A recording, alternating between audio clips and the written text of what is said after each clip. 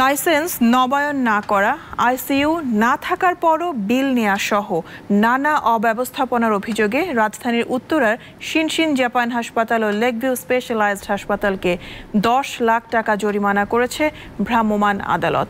তবে অভিযানের খবরে পালিয়ে যান আল আশরাফ হাসপাতালের কর্মকর্তারা। করোনা পরিস্থিতির মধ্যে চিকিৎসা সেবা নিয়ে অনিয়ম প্রতারণার বিরুদ্ধে কঠোর সরকার। চলছে অভিযান। এরই ধারাবাহিকতায় উত্তরা এগারো নম্বর সেক্টরে বিভিন্ন বেসরকারি হাসপাতালে অভিযানে যায় স্বাস্থ্য অধিদপ্তর, ঔষধ প্রশাসন অধিদপ্তর ও ঢাকা মহানগর পুলিশ। তবে আগেই আল আশরাফ জেনারেল হাসপাতালের কার্যক্রম বন্ধ করে পালিয়ে যায় সবাই। অভিযানে উঠে আসে হাসপাতালের নানা অব্যবস্থাপনা।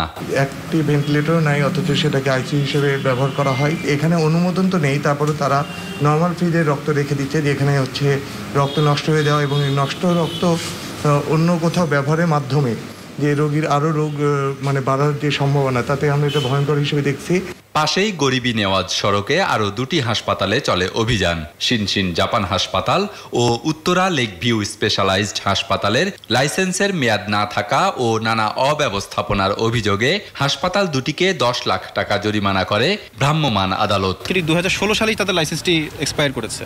আজকে চার বছর হয়ে তারা এখনও কোনো নবায়নের উদ্যোগ নেয়নি।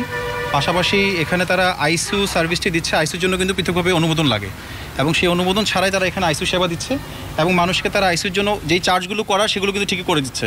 তাহলে এটা একটা প্রতারণা করা।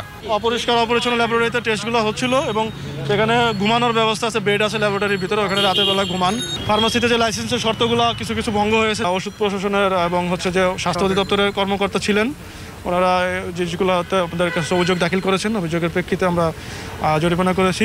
একই সঙ্গে রোগীদের সরিয়ে নিয়ে হাসপাতাল বন্ধে স্বাস্থ্য অধিদপ্তর এবং ঔষধ প্রশাসনকে নির্দেশ দেওয়া হয়। লাইসেন্সটা রিনিউ নেই তাদের কোনো ফার্মাসিস্ট নেই এবং তারা অবৈধ কেমিক্যালস তারপরে মিস ব্র্যান্ড এবং কিছু কিছু ফুড প্রোডাক্ট বিক্রি করতেছিল। এই কারণে তাকে জরিমানা করেছে এদিকে রোববার র্যাবের অভিযানের পর গুলশানের শাহাবুদ্দিন মেডিকেল কলেজ হাসপাতাল ছেড়ে যাচ্ছেন রোগীরা। নতুন রোগী ভর্তিও বন্ধ। রোগী শূন্য হলে সিলগালা করা হবে হাসপাতালটি। আহাদ হুসেইন, টুটুল, দীপ্ত সংবাদ, ঢাকা।